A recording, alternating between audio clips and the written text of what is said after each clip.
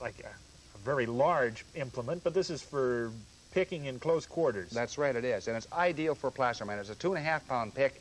And uh, sometimes they have a steel shank. This particular one hasn't. So that's the head of the pick that they would have used in the in the Atlin district in the 1890s. Somebody's pretty proud of their work. I mean, there's actually uh, crossed uh, some sort some sort of insignia right oh, here. sure, cross pick and shovel. And two and a half pounds, and that's what you'd use in close quarters. Yeah, and they're very, very difficult to get now. You need iron to get hold of gold. I Oh, you bet. Okay. Some more of the historic photographs. This is a hotel at Pine City. The uh, Pine City was, there were two major towns in the Atlin district. One was Atlin itself, which was probably a population of some four to 5,000, and Pine City, which, uh, uh, which was between two and 3,000. It was a rival just, just on the southern end of uh, Surprise Lake. And uh, this, is, this is the most famous hotel in Pine City. These guys look pretty well to do. Oh, sure they are. And some of these men were making ex fabulous wages per day because they were in on the, on the, on the beginning of the rush.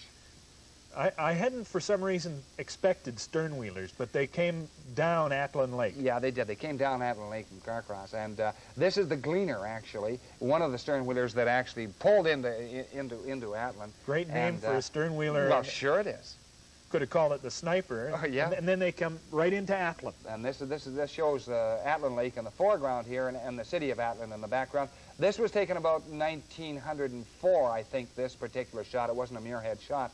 So this would just be when Atlin is close to its height, maybe a little over the top. There, is this one of, who was the name of the photographers? The Muirheads? These are the muirheads. This is a muirhead. They had great, com a sense of comedy and a sense of humor Oh, when sure they they took did. their stuff. What's this one called? This is called Girl Wanted, and this is not unusual because the guy is doing his own washing, and his only companion is a dog, and the, the dog, as you can see, is not helping in the washing. So, so that uh, that, and of course, women were a real premium. When a, when a woman came into town, especially a young woman, that it was not unusual for hundreds of miners to come down from the creeks if they'd heard of this and simply watch this apparition step off the boat. It was really quite astonishing. And my grandfather mentions it because he was in Atlin in 1898. Not my great uncle, but also my grandfather. And he mentions that, that, that when, they, when a woman came off the boat, uh, a young woman in her 20s, all the, all the men would go down there and look at her.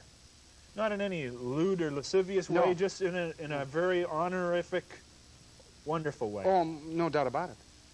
Dogs love having their pictures taken, don't Oh, they? sure they are. This They're- is the Canine Express. Does that really exist, or is this another Muirhead joke? Well, no, uh, Muirhead had a sense of humor. They're both Muirhead brothers, but but they, they definitely did use this particular wagon to haul around various express articles. And uh, why not? Why not use the dogs instead of manpower? Here's a family outing and a half. Look Yeah. at how many kids are there? One, two, three, four, five, six, seven, eight. Yeah. Can't be all one family. Well, it's hard to tell. It, it, it looks like uh, could be, but it could be some neighbor kids in there too. This is at Pine City, not Atlin, and uh, this is a holiday. So uh, probably the 24th of May, actually, Mike. It's hard to tell. They like their holidays. You bet. And this is the 4th of July in Atlin in about 1900. And the, you can see the hurdler's just finishing the race. And this is the winner here. And his the second place man is just going over a hurdle on the right-hand side of the photograph. They were mostly Americans. I guess that's why the 4th of July And is... competing for fairly good purses, Mike. Yeah. There is the city as uh, Atlin became, circa what, what era, what year are we talking about here? Well, we're talking, this, is, this shot was taken in 1901, again a muirhead shot, and it shows some of, the, some of the town of Atlin, not all of it, but most of it, and it was a significant city at this time. Even then, it was probably close to 3,000. As I said, it was a couple of years beyond the, the big rush, which was really 98 and 99. Yeah. Again, the people who hauled the money made some money themselves. Oh, sure they did. Somehow I always associate Wells Fargo with American history. Well, Wells Fargo was originally a California company, started in 1852, but but it was uh, it was also well known in British Columbia and in the Yukon and in Alaska as well. And so this this sign which you just held up was a was a Wells Fargo sign, and they were they were they were one of the favorite of the I guess the favorite express company of the miners because they were so dead honest. Wells Fargo's word was its uh, was its bond. Would Barnard Express, the BX Express, get up as far as Atlin, or were they more southern BC? No, although they did deal also with Wells Fargo. Yeah. Okay. We've got uh, some shots of some of the, the people who gravitated to this area. Without the Government House, I guess you really didn't exist as a town. Yeah, this is the this is the provincial government office in Atlin, still standing, by the way, Mike.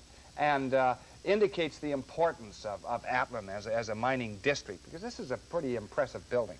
The fact that they did have to change from uh, the theory that this was the Northwest Territories to the fact that this was northern British Columbia, did anybody lose any claims as a result of that transfer? Actually, there, there's some debate about that, and if you uh, study the, the report of the commission that was sent in there to clear up this, this, this mess, because nobody really knew, and it really wasn't Strickland's fault either. He thought it was, he thought it was the Northwest Territories. They weren't, we're not very far from Fort Tagish, but it just happened to be over the line, Yeah. and they were in British Columbia. Well, they So they had to change to British Columbia mining lines. The banks went in there, quick as could be. Oh, sure. The banks, there were three banks in Atlin. This is one of them. This is the Merchants Bank of Halifax. And this is the Bank of British North America. And uh, again, it's uh, rather interesting. If you get any of these old banknotes from these banks, these, these are quite important collector's items and quite valuable too, Mike. And they, of course, made their money and uh, and lots of it Oh, by sure by uh, what? Uh, basically taking the golden trade, or what? What was They would function? get they would get a premium on the gold they shipped out. They would get a certain percentage, and it varied from district to district. Obviously, you wouldn't want to weigh any three-pound gold nuggets in a scale like this. This was a miner's scale. It was a, it was a portable scale. He would use this on the claim just to check out quickly approximately what his day's take would be. Uh, you know, that would hold probably maximum of about a quarter of a pound of gold in the pan with the weights counterbalancing on the other side. And they would use troy weights in this too, Mike. Now, when you talk about the word sniping, you, you mentioned that word a number of times. What's Yeah. the what is the concept of sniping? Well, sniping is, is going over, uh, usually going over old workings and uh, cleaning out crevices that maybe have not been cleaned out adequately by the, by the first miner on the ground. So that a sniper is an individual who goes along looking for uh, diagonal crevices and uh, seeing if the bedrock has been broken deep enough and so on. And a really quite a fascinating way of making a living. Not so much anymore because most of the ground has been gone over. Although there are occasional spots, Mike, you can still snipe in and do quite well at. Basic, I guess, like sniping, the the rifleman picking off individual targets, going after individual nuggets. Well, these guys are picking off individual nuggets, right? Yeah. As so often is the case, fire enters Atlin's history.